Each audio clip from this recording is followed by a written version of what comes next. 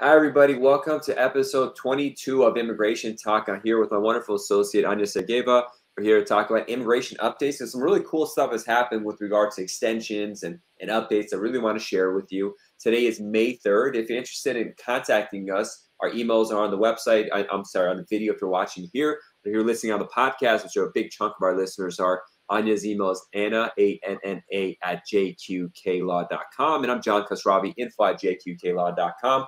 You could, uh, you could you could contact us for more information about scheduling a consultation. If you haven't already, like and subscribe wherever you're watching, leave a five-star review, especially on the podcast channels. That's really helpful. But having said all that, the introductory stuff, um, this is also one more introductory thing. This is all general education only. It's not intended for individual uh, legal guidance. But having said that, thanks so much for coming on again.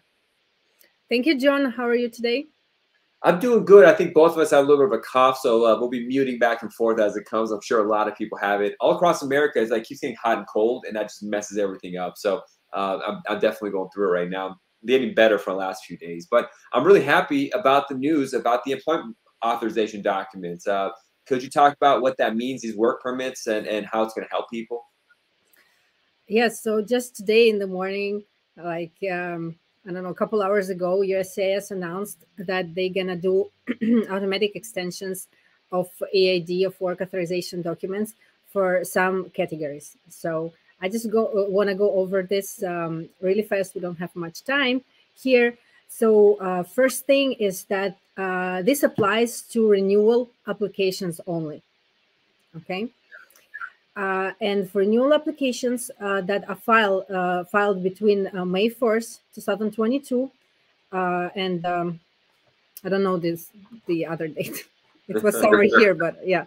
So uh, anything that is filed after May um, 4th, 2022 will get a two 540 day automatic EAD extension compared to Iowa um, 180 day automatic extension that was previously yeah. So, for example, if you had an adjustment of status case pending and uh, you know your case wasn't finished, uh, if before expiry you file for a new renewal, you get an automatic 180 day extension while the renewal is pending. Now they made it 540 days, which is good because it saves the hassle of like dealing with that expiration issue. But at the same time, it's like, why are they giving 540 days? What does that mean? Are they that means delays are coming big time.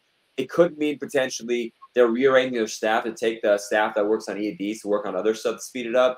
Internally, they don't communicate properly with us why they're doing this kind of stuff.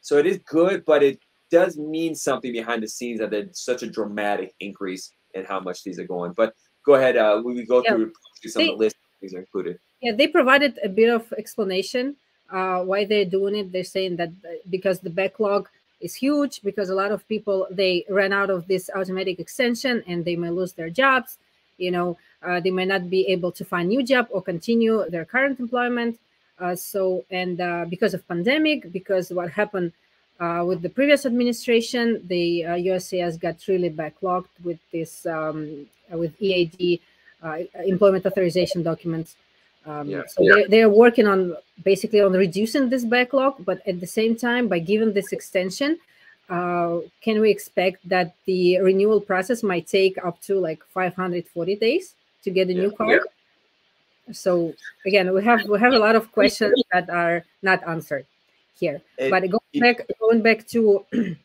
to what I started with, it's renewal applications only. Okay, uh, this rule is temporary, so it's not gonna last forever. Uh, again, I lost this date. It was somewhere. I saw this date somewhere uh, for how long it's gonna last but this is temporary So general rule is uh, extension 180 days ex day extension. Now they're saying it's going to be 540 day extension. Again, this is temporary. It's not going to last forever. Okay. Um, the extension is automatic for those uh, who uh, eligible. And John, you just showed on the screen. Okay, before October 27, 2023. Yes, thank you so much for helping me with that. Yes, so through May May 4th through October 26, 2023. Okay, there, this new 500 day extension uh, rule will be valid. Okay, and um, eligible categories, not every category is eligible. Okay, mm-hmm. so uh, so who is eligible? I will go over the most uh, popular categories. So, for example, uh, A12, which is temporary protected status granted, eligible. Uh, spouses of EL1, H1B spouses, they're eligible. Okay. Uh, C8, very popular category, asylum application pending. Okay, C9, for example, that we uh, use in our like marriage uh, marriage uh, adjustment cases. Okay, and other cases who apply for adjustment of status under um, under 245 of uh, Immigration Nationality Act. So C9 category is um, eligible for this automatic 540 day extension. Also, um, VAWA self petitioners, uh, C, C31, those are eligible. And who's not eligible, um, again, it's a huge list uh, of those who's not eligible. Generally, like F1 students, OPT, STEM, they're not eligible for this extension.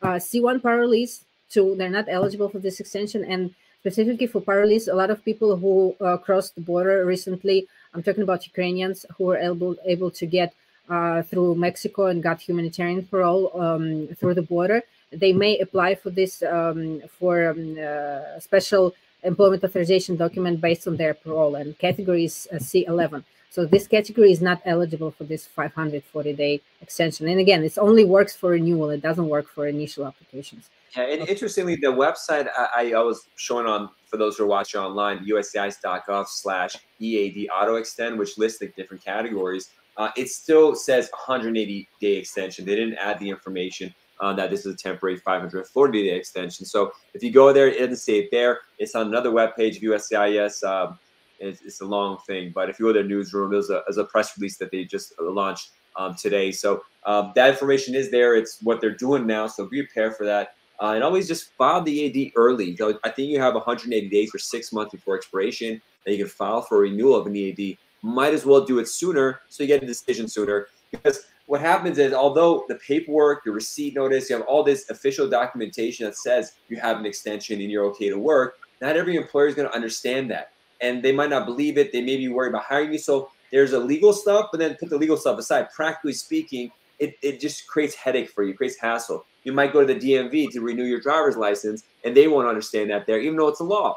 But if they don't want to, you waited four hours in line at DMV, as you all know how long it takes. And by the time you get in the front of the line, they'll say, no, we don't believe you. And you're like, look, USCIS.gov, this, that, and they don't care. So that kind of stuff happens frequently. So renew as soon as possible to avoid this kind of stuff from happening. Yes, important important point that you just brought, uh, John, up is that, for example, those who file in applications after uh, May 4th looks like uh, you guys gonna get um, notice uh, with 540 day extension for example, those who filed previously before that, they're going to get this 100 day uh, notice extension. And uh, USCIS will not issue new notices for those renewal applications who are pending as of as of today. So that's where the that's where the problem comes. That's where the problem comes that uh, John talking about uh, that a lot of employers will not know what to do with that. Uh, I-9 compliance, um, even though in this again in the statement that USCIS released today, they um, uh, they provide some guidance on how to uh, how to help employers with with that. But again, for those who has pending uh, EAD application uh, applications today, don't expect uh, to have to receive a new notice um, extension notice. Yeah, yeah, all over the place. So thank you so much. Now, but the, the second thing I want to talk about is just awareness, especially for those filing their cases on their own. Uh, USCIS frequently makes updates, and since Trump came, they usually give would every time they update something, they would tell you months ahead of time so you're prepared. But it was a tradition that started Trump and is continuing Biden administration is they change something and then they send you notice that it's changed. And we had several things like that change this week. Um, you know, a couple affecting the TPS situation um, and the Ukraine issue. So um, TPS, temporary protected status, was announced for Ukraine, Afghanistan, uh, South Sudan extended. But in particular, uh, for Ukraine, I think cases, they changed the address of where you can mail it to. They just changed it. We got the message overnight. So be prepared. Make sure you don't send stuff in the wrong location. And kind of the best practice procedures, both lawyers and immigration lawyers always remind people and our own staff. The last thing we do before we print a case to the government is we go to USCIS.gov and check what the filing fee is right now because they changed out that telling you the address is supposed to be mailing to and be very specific because if you're in California, there's an address that goes there. If you're in New York, potentially there's, a, there's an address that goes for that. And then finally, uh, you check the address on the, the filing fee, address, and the form type because they may change the form on you without telling you, which is another thing that happened with a couple of forms that changed this week. Yes, and uh, what I noticed today, for example, we received today um, notice from USA saying that they changed addresses for for Ukraine TPS. And I looked through this. I didn't see much change. Maybe it's like within some states that are changing. But uh, they're saying today is May third, and they're saying that as of May 2nd, which was yesterday, they already changed this address. So possibly some people who filed uh, their applications yesterday, they already filed it, uh, used the wrong address for that. Now, luckily, when you say the lockbox are supposed to internally adjust it, it's in their discretion, they say, but it's it's just it's kind of ridiculous for them to change something and then go back in time and change. It doesn't make any sense. But that's just what we deal with every day with immigration. That's what makes us create jobs for us, frankly. that's why you need immigration lawyers because we got to be on top of this stuff every second of every day. Uh, it's all we talk about. Anya and I are talking pretty much morning, night, and, and emails and Slack. This change, that change. Beware of this. It's an all-consuming profession. That's that's just part of what we signed up for. Uh, but yeah. the other forms that changed that we got noticed the I-129F, fiance visa K1, K2, and the K3, K4. Uh, doesn't look like change. I haven't gone too much detail, but it looks kind of the same. But you got to make sure you have a new format. Sometimes they change the form edition and it looks exactly the same. But if you don't send a new one, uh, then they're going to reject the case or deny it later for wrong form. As well as they changed the I-134 form and changed the name. It was a whole redo. Could you talk about the I-134 changes? Um, yes, so I-134 form, um, it used to be called Affidavit of Support, I believe. Now it's called Declaration of uh, of Support or something like that. So they changed the name. Now this I-130 form uh, is used primarily for for the Uniting for Ukraine program. But apart from that, this form uh, is used, for example, for K1 applications.